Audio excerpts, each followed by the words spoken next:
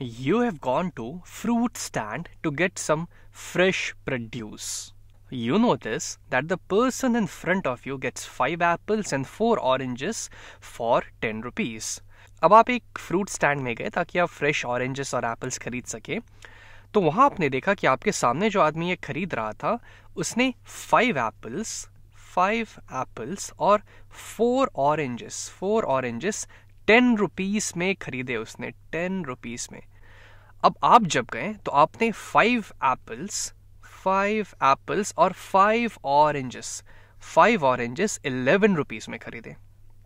ठीक है?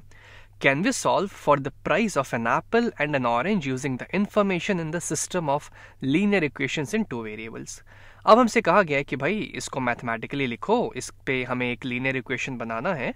और बताना है कि ये जो सिचुएशन हमें यहाँ दी हुई है, ये पहले सिचुएशन ये दूसरी सिचुएशन क्या इसके आधार पे हम एक एप्पल का और एक ऑरेंज का प्राइस पता कर सकते हैं? If yes what is the solution अगर हाँ तो वो क्या होगा? If no what is the reason we cannot लेकिन अगर नहीं पता कर पा रहे हैं तो हमें ये बताना पड़ेगा कि आखिर इसका रीजन क्या होगा? तो सबसे पहले तो यहाँ पे जो अननोन है, इसको हम अपना वेरिएबल बनाते हैं। यानी कि प्राइस ऑफ़ एन एप्पल एक एप्पल के प्राइस को हम यहाँ पे मान लीजिए एक्स रुपीस मान लेते हैं कि एक एप्पल का जो प्राइस है वो एक्स रुपीस है और एक ऑरेंज का प्राइस एक ऑरेंज का प्राइस हम वाई रुपीस मान लेते हैं। तो फाइव एप्पल का प्राइस कितना हो जाएगा? फाइव टाइम्स एक्स यानी कि फाइव एक्स रुपीस और फोर ऑरेंज का कितना प्राइस हो जाएगा? तो फोर टाइम्स वाई यानी कि फोर वाई रुपीस इनको मैं जब मैं आपस में जोड़ दूँगा तो मुझे मिल जाएगा टोटल पैसा, जो मेरे सामने वाले इंसान ने दिया था, यानी कि टेन रुपीस दूसरा कंडीशन आई, जब मैंने खुद इस चीज़ को खरीदा। तो यहाँ पे फाइव एप्पल का दाम हो जाएगा, फिर से फाइव टाइम्स एक्स और फाइव ऑरेंजेस का दाम, अब चार ऑरेंजेस के बजाय मैं फाइव ऑरेंजेस ले रहा हूँ तो उसका दाम हो जाएगा फाइव टाइम्स वाई क्योंकि वाई रुपीज़ जो है एक ऑरेंज का दाम है। इनको जब मैं आपस में जोड़ दूँगा तो मुझे मिल जाएगा यहाँ पे इलेवन रुपीज़ मतलब क्या कि मेरे इलेवन रुपीज़ यहाँ पे लगे हुए हैं। तो क्या इस इंफॉर्मेशन के आधार पे, इन दोनों इक्वेशंस के आधार पे हम एक एप्पल का प्राइस यानी कि एक्स और एक ऑरेंज का प्राइस यानी कि वाई पता कर सकते हैं? तो अगर मैं इनके कोफिशियंट्स का रेशियो देखो यहाँ पे तो एक्स के कोफिशियंट का रेशियो हो जाएगा यहाँ पे फाइव अपॉन फाइव यानी कि one is to one Y के कोफिशियंट्स का रेशियो हो जाएगा यहाँ पे फोर अपॉन फाइव और ये कॉन्स्टेंट्स जो है यहाँ पे, इनके रेशियो हो जाएँगे यहाँ पे टेन अपॉन इलेवन और ये पहले से ही स्टैंडर्ड फॉर्म में लिखा है तो हमें इसको स्टैंडर्ड फॉर्म में चेंज करने की ज़रूरत नहीं है। अब अगर इन तीनों रेशियो की बात की जाए तो तीनों रेशियो आपस में अलग हैं।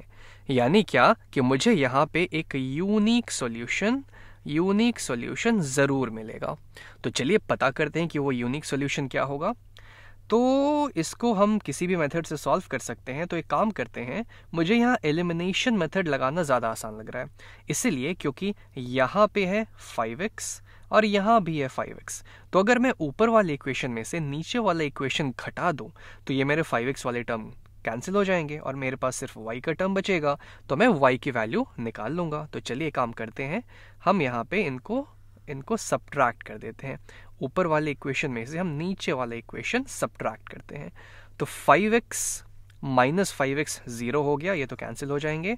Four Y minus five Y यानी इनके कोफिशियंट्स को अगर मैं सब्ट्रैक्ट करूँ तो फोर माइनस फाइव यानी कि negative one times Y equal to ten minus eleven ten minus eleven हो जाएगा नेगेटिव वन अब दोनों साइड में नेगेटिव वन से यहाँ डिवाइड कर देता हूँ, यानी कि डिवाइडेड बाई नेगेटिव वन इधर भी डिवाइडेड बाई नेगेटिव वन तो ऊपर और नीचे अगर मैं नेगेटिव वन से डिवाइड करूँगा तो ये हो जाएगा वन इधर भी अगर मैं ऊपर नीचे नेगेटिव वन से डिवाइड करूँगा तो ये हो जाएगा वन यानी कि यानी कि यहाँ से y की वैल्यू आ गई वन के बराबर. और y हमारा क्या था? एक ऑरेंज का प्राइस यानी कि एक ऑरेंज का प्राइस वाई रुपीस हो जाएगा। अब हमें ऑरेंज का प्राइस मिल गया है तो हम यहाँ पे आराम से एप्पल का प्राइस भी निकाल लेते हैं। कोई भी इक्वेशन पकड़ेंगे, उसमें वाई का वैल्यू डाल के एक्स का वैल्यू पता कर लेंगे। जैसे मान लीजिए हम इस नीचे वाले इक्वेशन से बात करते हैं तो यहाँ पे यहाँ पे है हमारे पास five times X five times X plus five times Y five times Y अब वाई की जगह मैं रख दूँगा वन और ये इक्वल टू दिया हुआ है इलेवन के। तो फाइव टाइम्स वन यानी कि ये हो जाएगा फाइव के ही बराबर फाइव के बराबर। अब दोनों साइड में फाइव सब्ट्रैक्ट कर देता हूँ तो अब मुझे मिल जाएगा ये और ये कैंसिल हो जाएँगे। इधर सिर्फ़ फाइव एक्स बचेगा five X equal to eleven minus five six के बराबर आ जाएगा। अब दोनों साइड अगर मैं फाइव से डिवाइड कर दूँ तो यहाँ से ऊपर नीचे मैं फाइव से डिवाइड करूँगा तो ये हो जाएँगे वन के बराबर। इधर आ जाएगा सिक्स अपॉन फाइव अब इसको अगर मैं डेसिमल में कन्वर्ट करना चाहूँ तो ऊपर नीचे मैं टू से मल्टीप्लाई कर देता हूँ। तो ये हो जाएगा ट्वेल्व अपॉन टेन यानी कि one point two rupees one point two rupees यानी कि एक्स की वैल्यू जो है एक्स की वैल्यू जो है वो आ गई वन पॉइंट टू रुपीज़ के बराबर। और एक्स हमारा क्या था? एक एप्पल का दाम, यानी कि एक एप्पल का प्राइस जो है वो वन पॉइंट टू रुपीज़ होगा, और एक एक ये ऑरेंज का प्राइस वन रुपीज़ हो जाएगा।